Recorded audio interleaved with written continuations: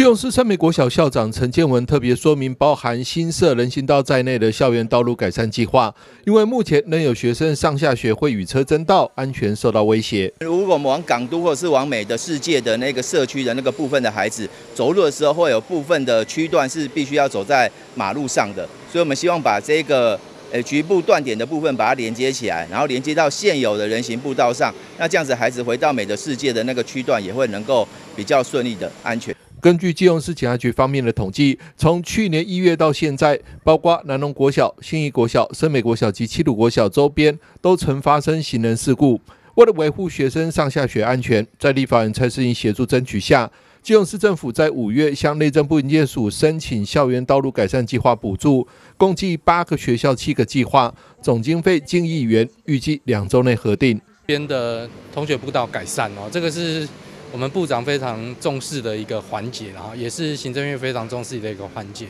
那目前今年度行政院有专案的计划，在补助各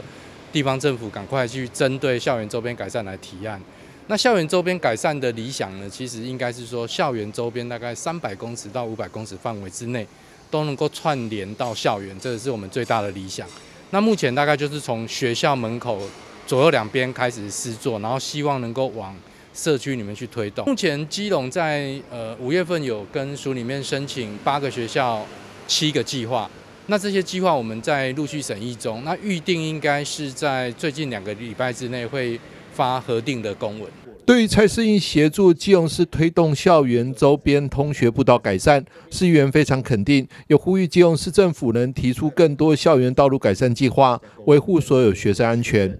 基隆市的小学还有国中，总共还有高中，大概有五十几所了。那其实才提八个学校，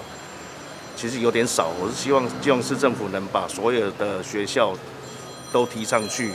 让内内政部建署来审核。感谢委员在我们基隆市有在推这个通学步道，这通学步道呢，对这些小学生跟接送的家长都非常的重要。不然小朋友有时候很无知，或者是捡一颗球就到马路上了。那以呃委员的争取呢，希望呢每个孩童呢都能平平安安，然后快快乐乐的长大。除了通学步道改善，蔡世英强调，其实校园周边还有一些计划可以扩充，包含电杆下地、私人土地配合人行道退缩等。建议基隆市政府在规划时能一并纳入，建构更为安全的行走空间。民建署的态度很清楚，只要是他们认为地方政府有能力。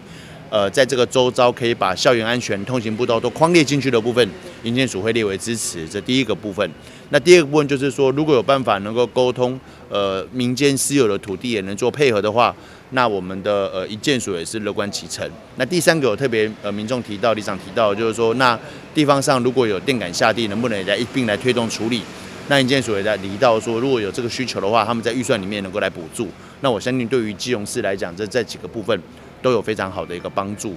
记者张启腾、金融报道。